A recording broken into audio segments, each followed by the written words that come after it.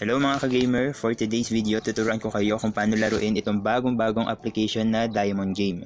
Kung gusto niyo malaman kung paano mag-register at paano mag-cash in, tapusin lang ang video na to.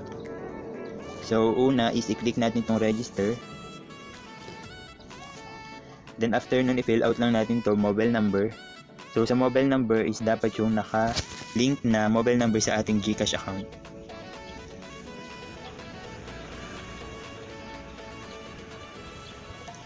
Then dito sa new password is 6 digit password. Then dito sa verification code is i-click lang tong send. After maklik ng send is may magte-text sa inyong code then ayun yung ilalagay natin dito. Then after natin maklik yung send, so dito naman sa referral ID ang ilalagay natin ay 460-56762. Once na mag-confirm kayo is magkakaroon kayo ng 10 pesos. So click natin tong confirm. So once na maklik natin yung confirm, ito na yung lalabas.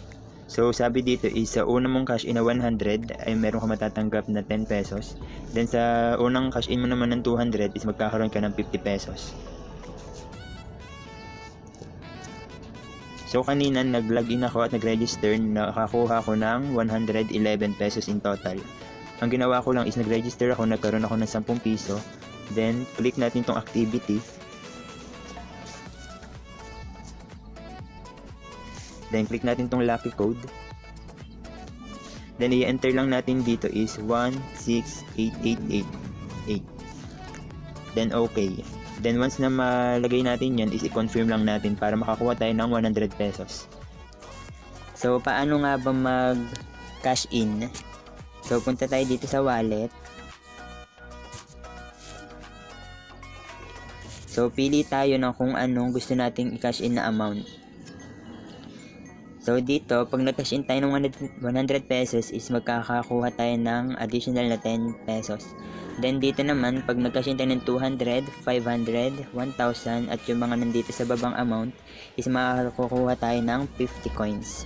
So bali for example, nag-cash in tayo ng 200, ang makikredit sa ganito natin is 250 pesos. So click natin tong 200 pesos. Then yes. Then after nyan is i-copy natin tong mobile number na to kung saan natin isesend yung kinash in natin. So click copy. Then pagka-click natin ng copy is pumunta tayo sa GCash account natin. So kapag nasa GCash account na tayo is click natin tong send money. Then express send.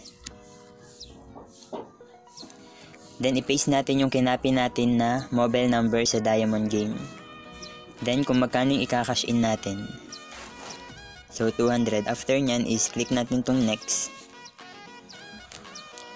Once na maklik natin yung next is i-double check lang natin yung number then yung amount then after natin ma-double check is click lang natin tong send 200. So, once na ma-send na is i-copy lang natin tong reference number itong reference number na to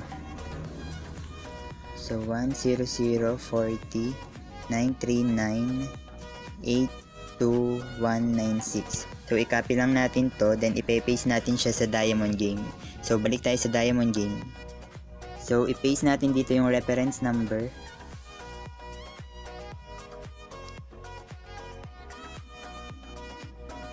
So, once ma-paste na natin, is-click lang natin tong okay. Then, click submit. Then, once na maklik natin yung submit is, punta tayo dito sa record. So, nakita natin na successful na siya. Then, nadagdag na rin siya dito sa ating account. So, naging 361 na yung balance natin. So, after nun is pwede na tayong maglaro dito.